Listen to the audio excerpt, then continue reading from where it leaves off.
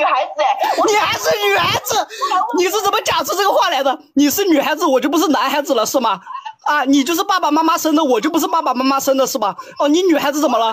你是女生怎么了？你是畜生都不行。他是全网比窦娥还冤的男大学生，只因六包抽纸被女同学骂成狗，不是被学校施压，就是要求强制道歉。咕咕鸟到底做错了什么？只是想好心帮助同校小仙女，最后却落得个舔狗的骂名。当咕咕鸟看到学校二手群里有个女生想买抽纸，接连问了三天都没有人回应之后，咕咕鸟看女生这么下不来台，就出于好心询问女生要不要拼单合买一箱抽纸，一箱四十包，到货之后后两人平分。于是两人很快就约定好条约。咕咕鸟自己先将四十包抽纸的钱垫付，等抽纸回来了，女生拿到抽纸之后再转钱给自己。不过女生却觉得群里一块四一包的抽纸太贵。咕咕鸟见她一个小女生就慷慨主动降价到九毛钱一包，本以为雷锋行为会被女生感谢，可谁也没有想到，咕咕鸟的一片好心竟被女生当成了沸羊羊行为。而且女生转手就将两人聊天记录发到了上百人的同学群里，引来了无数吃瓜群众的围观。而且群友们清一色都说男生是舔狗，还说无事献殷勤，能这么心甘情愿吃亏，一定是对女生有所图。虽然无端的骂名让咕咕鸟十分不舒服，不过鉴于多一事不如少一事的心态，咕咕鸟也没有过多解释，就想着等抽纸一到就火速结束这场纷争。可是没成想，抽纸到了之后，女孩竟又走起了哭穷路线，给咕咕鸟说十八块二十包的抽纸太贵，简直能要了他的命，而且自己全身上下也只有四块七，能不能只买六包抽纸？剩下的抽纸让咕咕鸟另找销路卖给别人，就算是只买六包，每包九毛钱来算，那也应该是五五块四。可见女生压根儿就不是诚心想拼单，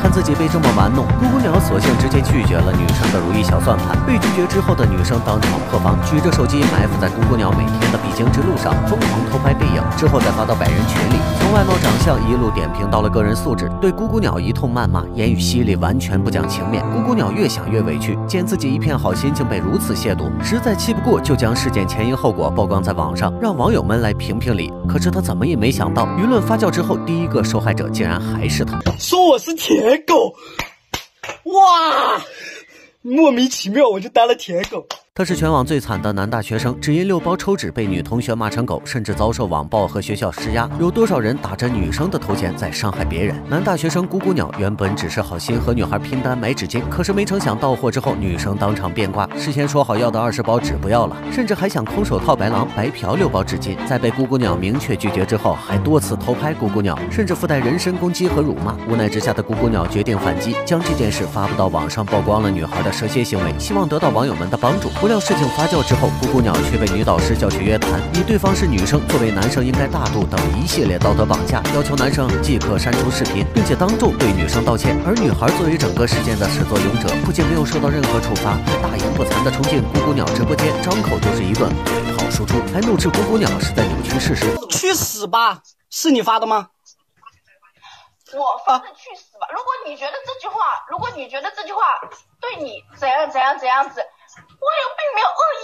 而且我们你没有恶意。虽然咕咕鸟只是把事件如实复述，女孩却哭诉咕咕鸟对自己造成了不可逆的伤害，甚至害自己患上了抑郁症。这件事必须要严肃处理，咕咕鸟也要公开向自己道歉。学校即刻就开始了汪汪队立大功，在最强辅助女导师的助攻下，咕咕鸟只好吃了哑巴亏，删除了曝光视频，并公开向女孩道歉。该消息一出，瞬间激起群臣共愤，有网友气不过咕咕鸟受到这种不公平待遇，纷纷转战到学校官方账号下抱不平。并要求学校对“咕咕鸟”道歉。我是女生这四个字也不是免死金牌，任何事情都要遵从事实真相来评判而不是所谓的性别。如果每次都要以对方是女生来做挡箭牌，那哪还有男女平等而言？校方只担心女孩会抑郁症，可是想没想过好人被这么伤害，咕咕鸟作为男生就不会抑郁吗？咕咕鸟的好心和不计较，也不应该被这样对待。我们需要站出来为好人发声，而不是因为性别来判定是非。不过也有网友觉得几包抽纸的这么小事，没必要在网上闹得沸沸扬扬。如果女生真的心理脆弱想不开，到时候后果不堪设想。对于咕咕鸟的纸巾事件，你觉得她的反击有必要吗？那年我双手插兜，不知道什么叫做对手。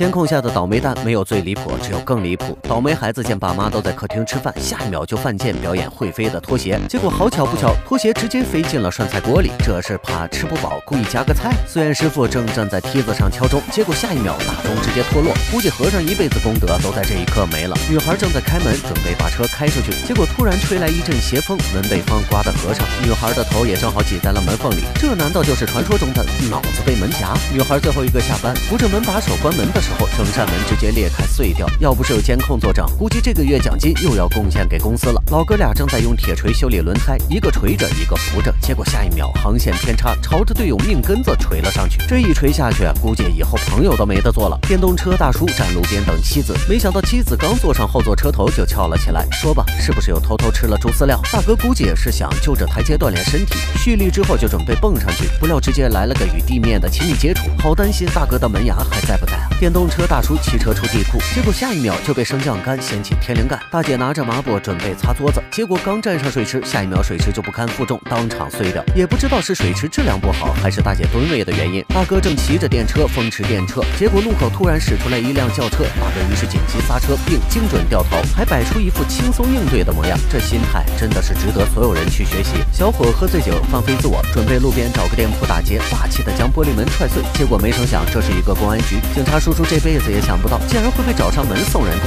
小伙骑踏板出小区，刷完门禁卡，准备出门的时候，升降杆直接降落，小伙直接来了个摸头杀，脑瓜子当场嗡嗡的。宝妈推个轮椅车准备倒垃圾，结果倒车的时候没看路，直接自己被整车垃圾掩埋。女孩背对着太阳打盹，结果背后突然来了个斑点狗，把女孩的背也当做了支点撒尿，女孩瞬间被一股暖流浇醒。得亏旁边有监控拍下，不然这么多精彩瞬间恐怕就看不到了。